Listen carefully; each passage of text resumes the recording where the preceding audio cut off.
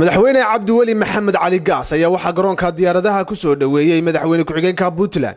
Xubno ka tirsan golaha wasiirada madaxda golaha wakiilada aysimada garaadada iyo weliba mas'uuliyiin kale oo aada u badan.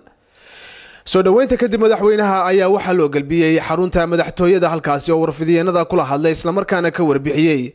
Waxyaabaha ay ka wada hadleen madaxda dowladda etoobiya ay ka mid ahaayeen dhinaca iskaashiga ganacsiga amniga iyo waliba waxyaabo kale madaxweyne cabdiweli maxamed cali gaas oo arrimahaasi ka hadlayna waxaa ka mid ah hadaladiisii. Farsamadii inaan isla helo aanu dedejiyo hawsha iyada ah.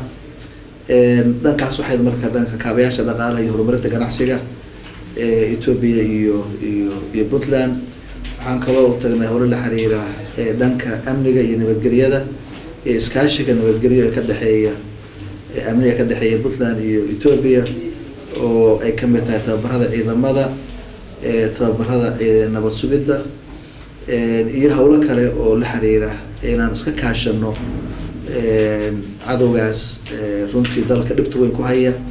Ayagana cadowga anagana noo ah. Inaanu meel uga soo wada jeesano iskana kaashano inaanu la dagaalankiisa. Istraatiijiyada mida aanu ka yeelano iyana waxay muhiimad u ahayd safarkayga